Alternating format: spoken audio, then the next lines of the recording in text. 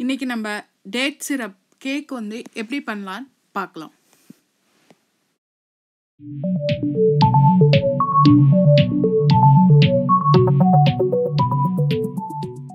இப்போ நம்ம date syrup கேக்குக்கு என்னென்ன தேவையான பொருட்கள் என்னன்னு பார்க்கலாமா? ஃபஸ்ட்டு மைதா இரநூத்தி இருபது கிராம் எடுத்திருக்கேன். நல்ல சுடு தண்ணி வந்து நூறு எம்எல் எடுத்திருக்கேன். அரை டீஸ்பூன் பேக்கிங் சோடா அரை டீஸ்பூன் பேக்கிங் பவுடர் குட்டி கொஞ்சமாக ஒரு பிஞ்ச் வந்து சால்ட் எடுத்திருக்கேன். சர்க்கரைக்கு என்ன எடுத்திருக்கேன்னா இருபத்தஞ்சு கிராம் சர்க்கரையும் இருபத்தஞ்சு கிராம் பனவெல்லமும் எடுத்திருக்கேன். சப்போஸ் உங்களுக்கு பனவெல்லம் வேணாதவங்க நீங்கள் வந்து சர்க்கரையை போட்டுக்கலாம். அப்படி இல்லைன்னா ப்ரௌன் சுகர் கூட நீங்கள் ஐம்பது கிராம் போட்டுக்கலாம். அதுக்கப்புறம் எழுபத்தஞ்சு கிராம் வந்து வெண்ணெய் எடுத்திருக்கேன். அதுக்கப்புறம் வந்து டேட் சிரப் வந்து நூற்றி ஐம்பது எம்எல் எடுத்திருக்கேன். இதில் கொஞ்சம் சுகர் இருக்குது டேட் சிரப்பில் அதனால் நீங்கள் இன்னும் கொஞ்சம் சுகர் வேணும்னா ஒரு இருபது கிராம் அதிகமாக போட்டுக்கலாம். அதுக்கப்புறம் வெனிலா எசன்ஸ் வந்து கா டீஸ்பூன் எடுத்துக்கலாம். அதோட நான் வந்து ஒரு முட்டை தான்.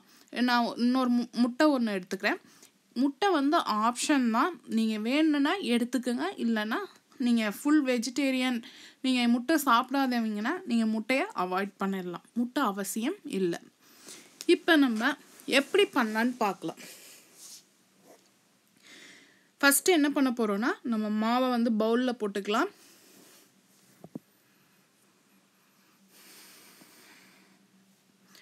மாவை பவுலில் போட்டு நம்ம வச்சுருக்க பேக்கிங் சோடா பேக்கிங் பவுடரு அதுக்கப்புறம் உப்பு. இது மூணையும் போட்டு மாவை நம்ம சலடையில் சலிச்சுக்கலாம் சலித்து இதை தனியாக நீங்கள் எடுத்து வச்சுருங்க.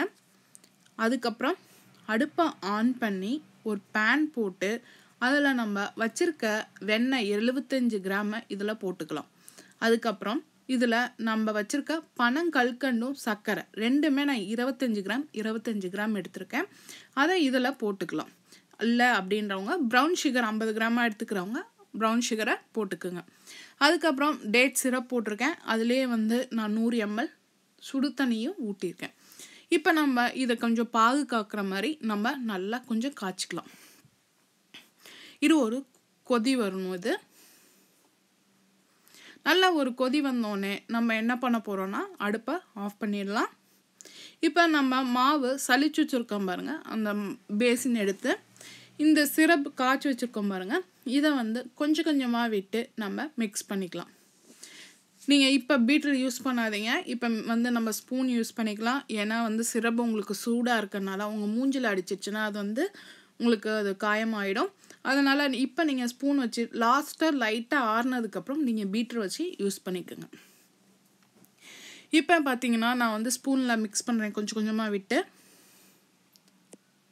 பாருங்கள் எவ்வளோ அழகாக வந்திருக்கு கலரு டேட் சிரப் வந்து குழந்தைங்களுக்கு நல்லது. நமக்கு வந்து இப்போ பிளட் இல்லை ரொம்ப கம்மியாக இருக்கிறவங்களாம் இந்த இந்த மாதிரி டேட் சிரப்பு டேட்ஸ் சாப்பிடாதவங்களுக்கு இந்த மாதிரி செஞ்சு கொடுத்தா கண்டிப்பாக சாப்பிடுவாங்க. இப்போ நம்ம லாஸ்ட்டாக வந்து நான் முட்டை போட்டிருக்கேன். முட்டை ஆப்ஷன் தான் வேணாதவங்க விட்டுருங்க. நான் பீட்டர் வச்சு ஒரு டூ மினிட்ஸ் வந்து பீட் பண்ணியிருக்கேன். இதில் வெனிலா எசன்ஸ் வந்து நான் வந்து கால் டீஸ்பூன் விட்டுருக்கேன். ஃபுல்லாக பீட் பண்ணிவிட்டு இப்போ நம்ம பட்டர் அந்த பேனில் லோஃப் நம்ம ப்ரெட்டு செய்கிறோம் பாருங்கள் அந்த லோஃப் டின்னில் வந்து அப்ளை பண்ணி அது மேலே நான் மைதா போட்டிருக்கேன். இப்போ இது லாஸ்ட்டாக இது இதில் வந்து நான் பட்டர் ஷீட் போட்டு நம்ம வந்து மிக்ஸ் பண்ணி வச்சுருக்கோம் பாருங்கள் அந்த மாவை வந்து இதை வந்து இதில் இது பண்ணிவிட்டு ரெண்டு தட்டி தட்டி விட்டுக்கலாம். ஏன்னா சரிசமமாக இருக்கணும்.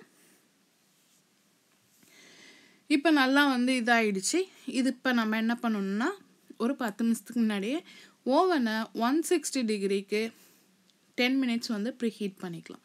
இப்போ நமக்கு அது அது ஹீட் ஆகிடுச்சி அதனால் நான் இப்போ வந்து அதில் வந்து கேக் ட்ரே வச்சுறேன். இப்போ நல்லா அழகாக வந்து one sixty degree one hour நல்லா குக் ஆகி சூப்பராக வந்திருக்கு.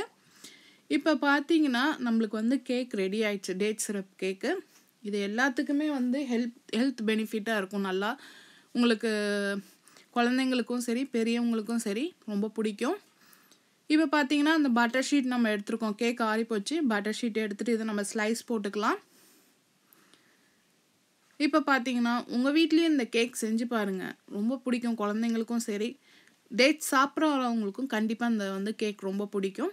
உங்கள் வீட்டில் ட்ரை பண்ணிவிட்டு சப்போஸ் நீங்கள் ட்ரை பண்ணிங்கன்னா அந்த ஃபோட்டோவை எனக்கு ஷேர் பண்ணுங்கள் எங்கள் வீடியோவை வாட்ஸ்அப்பில் ஷேர் பண்ணுங்கள் உங்களுக்கு பிடிச்சிருந்தா லைக் பண்ணுங்கள் வீடியோ பார்த்ததுக்கு நன்றி.